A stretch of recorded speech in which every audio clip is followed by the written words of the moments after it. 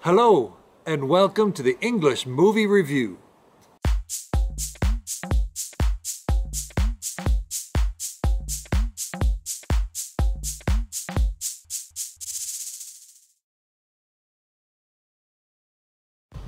Hi, you're watching the English Movie Review, a simple English lesson based on current movies. Today, we're going to be watching the movie Godzilla. We're going to look at the vocabulary used, explain difficult words, and have tests to make sure you're paying attention. This movie stars Bryan Cranston. Let's start by looking at some of the vocabulary that will be used in this film. To be in charge. To be able to make decisions for a group. To be the boss. I had a problem at my hotel, so I asked for the person in charge. To fool somebody. To make somebody believe something that isn't true. To trick somebody. My friend tried to fool me into believing that he wasn't home. The Stone Age. A time in history when people first started using stone or rocks to make tools. During the Stone Age, people made fires using sticks.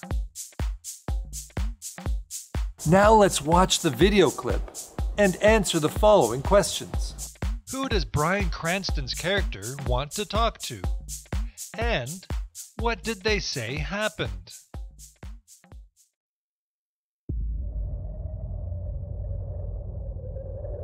I want to talk to somebody in charge.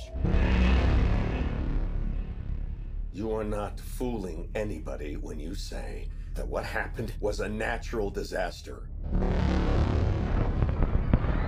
You're lying. It was not an earthquake. It wasn't a typhoon. Because what's really happening is that you're hiding something out there.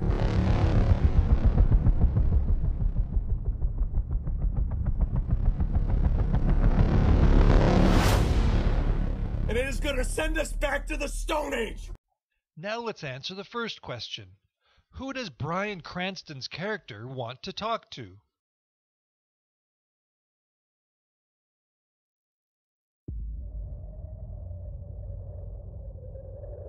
I want to talk to somebody in charge. That's right. He wants to talk to somebody in charge. He wants to talk to the boss. Now let's answer the second question. What did they say happened?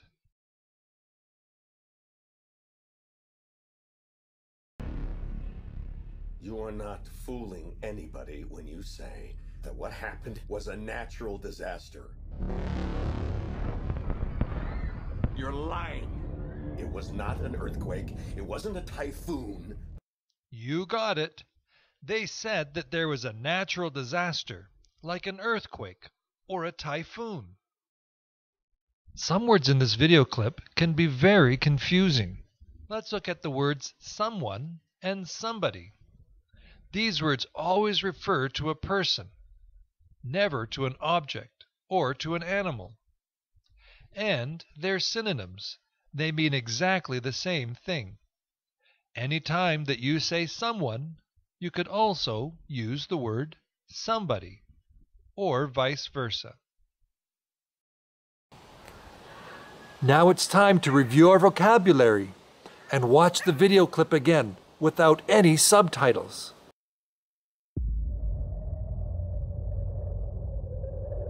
I want to talk to somebody in charge. You are not fooling anybody when you say that what happened was a natural disaster. You're lying. It was not an earthquake. It wasn't a typhoon. Because what's really happening is that you're hiding something out there.